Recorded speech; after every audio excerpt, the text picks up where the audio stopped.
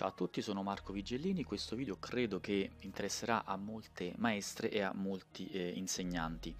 Nei video eh, precedenti abbiamo incominciato a prendere confidenza con lo strumento eh, Minecraft e in particolare abbiamo cominciato a muovere i primi passi nel mondo tutorial che viene con Minecraft. Vi voglio far vedere che oltre al classico mondo tutorial eh, che abbiamo visto nelle, eh, nei video precedenti, eh, anche, ci sono altre eh, tipologie di mondi tutorial, ok? E nello specifico oggi vedremo quello dell'Agent Trials.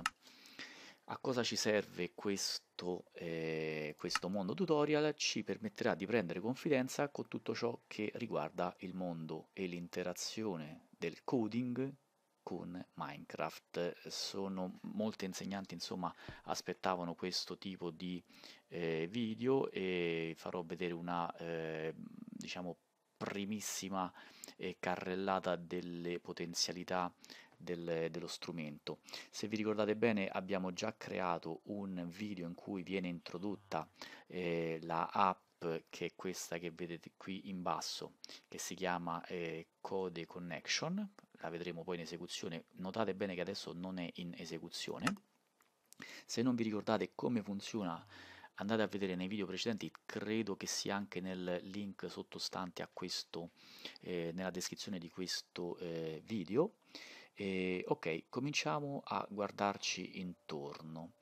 Allora, eh, qua vedo una eh, lavagna che ci dice quali sono, che questi sono i tool, gli strumenti di Minecraft Education Edition, il blocco che permette di costruire sopra di lui, quello che non permette di costruire sopra di lui, eh, la fotocamera e il portfolio e ce ne sono tanti altri. Andate a vedere le, eh, i video del eh, mondo tutorial, in particolare quello della zona 4, e vedrete tutti questi blocchi spiegati nel dettaglio. Ok, andiamo più in basso, c'è un personaggio, Colton P.agent, che ci eh, guarda. E questo sembra che sia il champion del 2016 di queste eh, prove, dei trials. Allora, Leggiamo qua eh, in alto, io lo indico con la eh, nostra croce direzionale. Allora, è la tua prima volta qui? C'è qualche suggerimento per te. Da sinistra verso destra eh, leggiamo. Eh, fai attenzione al, alla rotazione del tuo agent. In questo caso, in effetti, lui sta posizionato in questa direzione. Ok? E poi se non si muove come eh, si crede eh, e si desidera, eh, è perché magari probabilmente nella posizione sbagliata. Poi andiamo qui in, eh, da, da, da, sinistra verso destra, dall'alto verso il basso. Il tuo, eh, la posizione del, del, tuo agent può essere diciamo, eh, riposizionata. Puoi utilizzare il comando teleportati verso il giocatore per farlo venire verso la tua posizione. Puoi usare il comando repeat per, per, per eseguire una serie di eh, azioni più di una volta.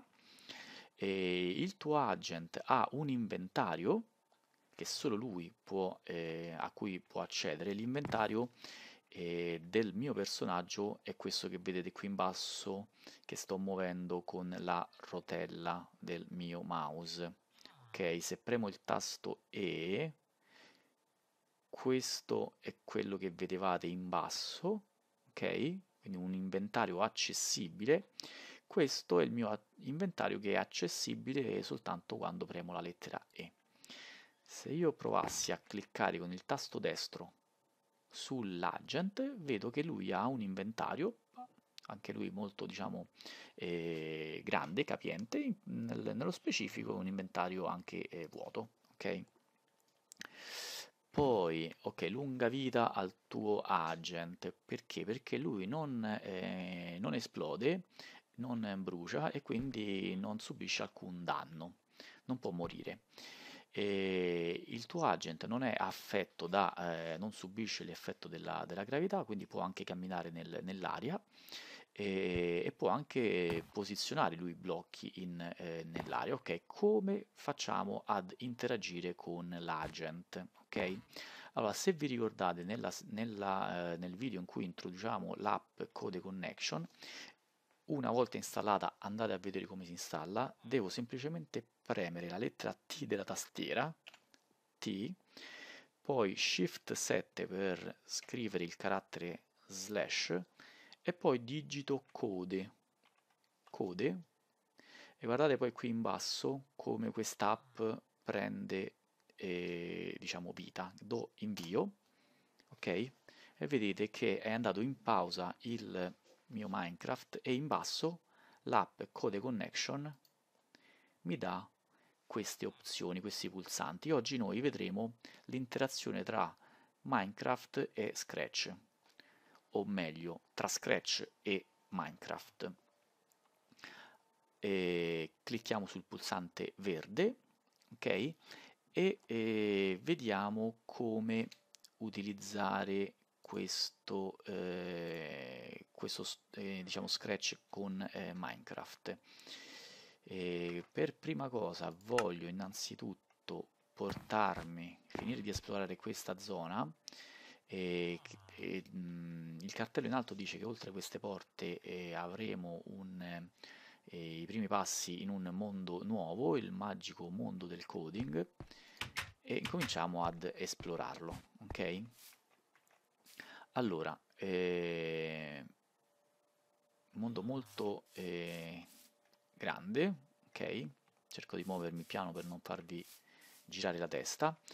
Ok, la sfida numero 1. benvenuto al, alla prova dell'agent, bisogna andare avanti.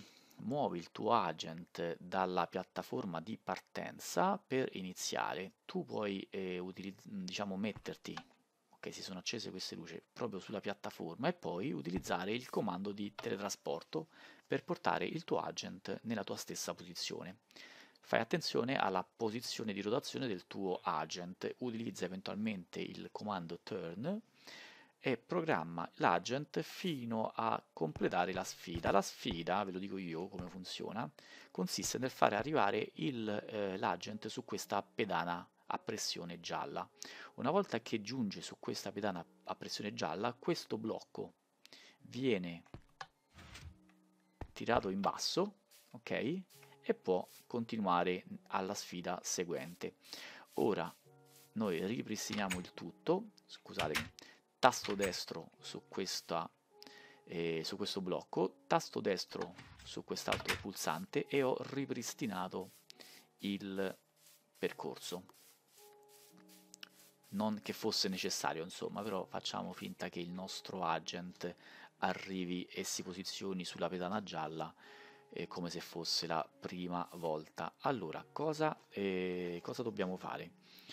Eh, ci, tele, ci muoviamo su questa pedana a pressione, poi ci mettiamo in Scratch e scriviamo che quando si preme il tasto spazio, adesso cerco di ingrandirlo più che posso, in Scratch quando abbiamo l'interazione con eh, Minecraft Education Edition e solo con Minecraft Education Edition, sottolineo, eh, abbiamo la possibilità di utilizzare degli altri blocchi.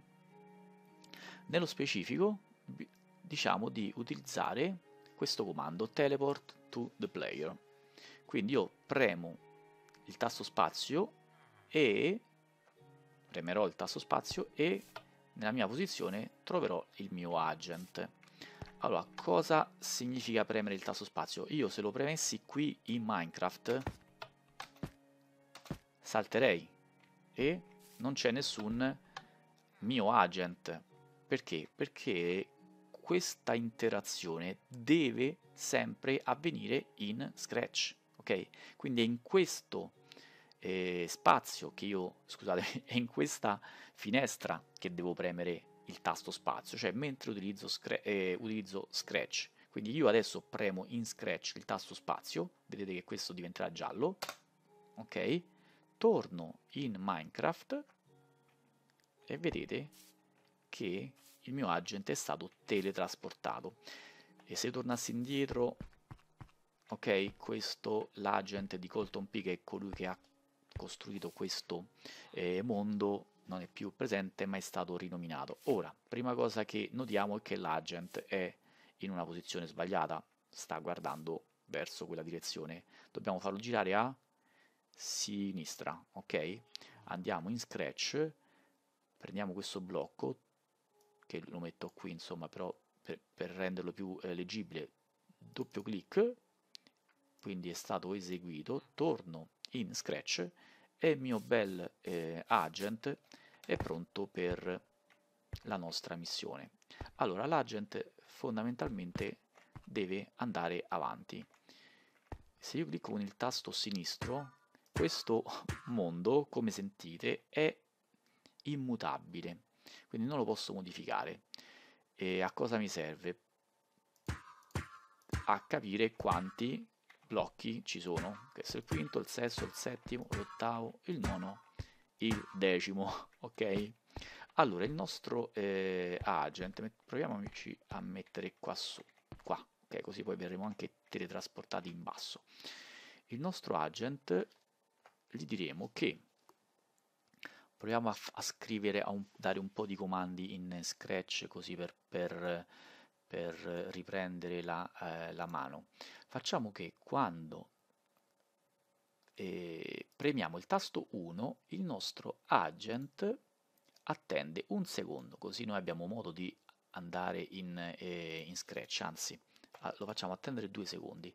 Dopo due secondi gli facciamo inviare a tutti un messaggio messaggio 1. Perfetto.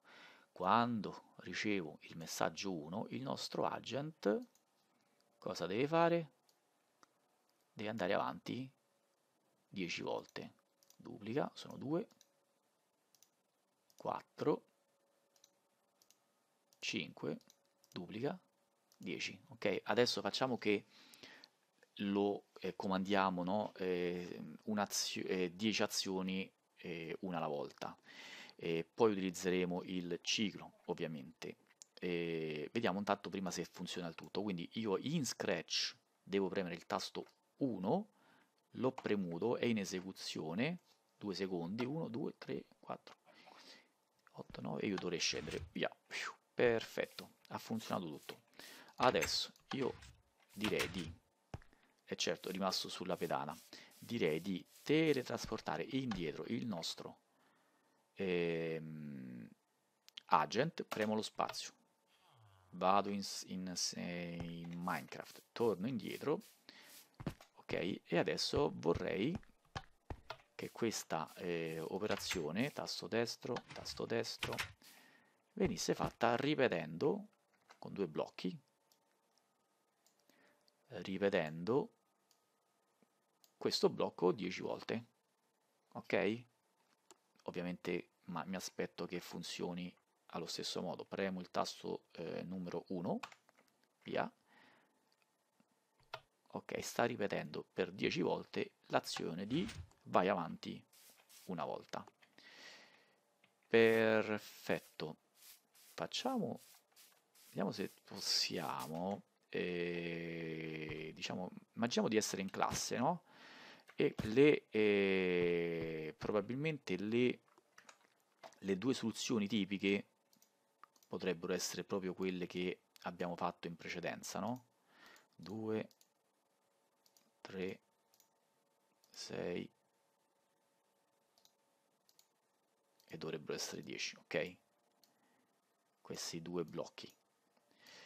Immaginiamo di chiedere ai nostri ragazzi, ok, eh, avete trovato una soluzione, no? Due soluzioni, ok? Adesso tirate fuori la terza soluzione, la soluzione creativa.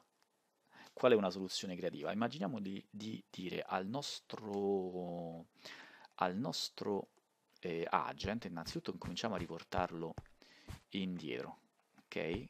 Metto sulla pedana, premo lo spazio e lui è tornato indietro ok adesso il nostro agent gli faremo fare un bel balletto, cioè ad ogni passo il nostro caro eh, agent deve, deve fare un balletto, tipo, non so, va avanti e poi ruota a destra, destra, destra, destra, fa un giro a destra, completo a destra. Poi può andare avanti e, e, ed eventualmente fare un giro completo a sinistra e così via.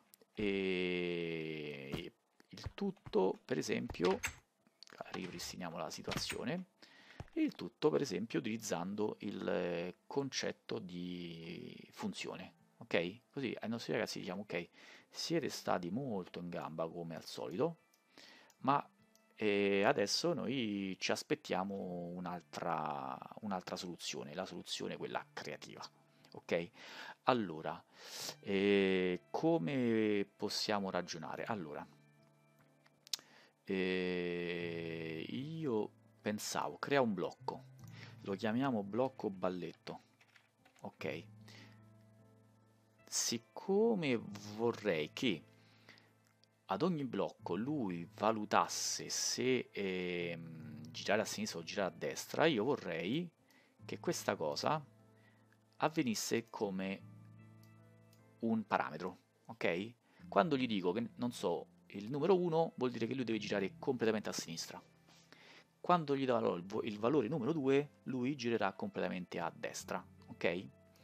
Allora, vediamo se riusciamo a fare questa cosa. Allora, se il nostro eh, numero è uguale a, quindi questo qua, se il nostro numero è uguale a 1, abbiamo detto per esempio, gli diciamo che e il nostro caro ballerino per quattro volte deve girare a sinistra ok? Quattro volte perché eh, si trova in questa posizione. 1 2 3 4 ok? Poi altrimenti altrimenti ok altrimenti farebbe quattro volte a destra ma mi sembra veramente troppo banale. Allora inventiamoci qualche altra cosa ragionando ad alta voce. Quindi quando invece il valore è il secondo lui girerà a destra e fino a qui ci siamo. Proviamo per esempio a, a fare l'altra idea che potrebbe essere quella di come possiamo farlo ballare questo? Innanzitutto un valore numero 3, quindi se dovesse arrivare il terzo parametro, il terzo parametro lo facciamo, vediamo un attimo il qui, facciamo fare tipo destra, sinistra, sinistra, destra, neanche Jenny la tennista, ok, perfetto. Allora, gli facciamo fare sì.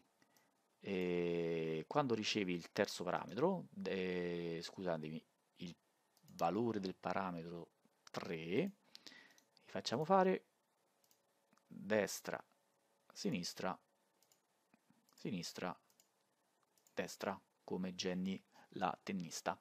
Mentre, per esempio, mi è venuta adesso un'altra idea, e possiamo fargli fare un bel balletto in alto e in basso, quindi altrimenti quindi abbiamo fatto fare o tra le due o le tre cose, ok, lo facciamo muovere. Move, e move up, su, e move duplico, move e giù, ok? Forte questa cosa che è un po' in inglese, un po' in italiano quindi su e giù. Ora, eh, quindi quando prema il tasto 1 lui manda un messaggio. Il messaggio quale sarà? Eh, quando lo riceve, che per 10 volte, ok, il nostro caro eh, agent deve andare avanti e poi eseguirà il balletto, ok, però questo eh, valore deve essere randomico, casuale, ok? E quindi utilizzo questo eh, questo set di istruzioni, quindi 1, 2, 3, questo qua voi mi insegnate che sarà il valore 4, ok? Per poterlo eh, mandare in esecuzione e poi facciamo che gli diamo un po' di, di pausa, ok? Allora io sono quasi convinto che questa cosa funzioni. Allora, il nostro agent è a posto. Io mi tolgo questo, ok, mi ci metto sopra e vediamo, premo il tasto 1, riceverà il tasto 1, per 10 volte va avanti e poi segue il balletto. Quale balletto farà? Se riceverà il tasto 1, girerà a sinistra, se, se riceverà il numero 2, girerà completamente a destra, se riceverà il numero 3, eh, farà eh, come genera tennista, cioè destra, sinistra, sinistra, destra, altrimenti, quindi il quarto valore, andrà su e poi giù. Ovviamente non potevo mettere giù perché altrimenti, diciamo, eh, aveva il, ehm, il, pavimento sotto di lui e, non, e sarebbe diciamo, rimasto poi in alto. Allora, eh, cosa devo premere? Il tasto numero 1, qui in Scratch. 1, via, vai. Ok, perfetto, sinistra. Ok, di nuovo in sinistra. È andato su. Poverino. Ok. Sinistra. Vediamo il destra se lo farà. Ancora su destra, oh questo è il gen da tennista, sa ancora generale il destra non l'ha fatto, dai fammi un destro, no, ecco l'ultimo ha fatto il destro, dai perfetto, ok. E, bene, allora, questa è invece l'inizio della sfida eh, numero 2, io intanto salvo questo file, file eh, salvo il progetto, project lo chiamo, e in modo tale poi eventualmente da poter continuare proprio da. Bene, se vi è piaciuto il tutorial di oggi e non volete avere il problema di perdere i prossimi, tutto quello che dovete fare è cliccare sul pulsante iscriviti e poi sul simbolo della campanella. Abilitate le notifiche del canale ed infine un ultimo clic sul pulsante salva. Non mi resta che salutarvi e ci vediamo al prossimo tutorial. Ciao!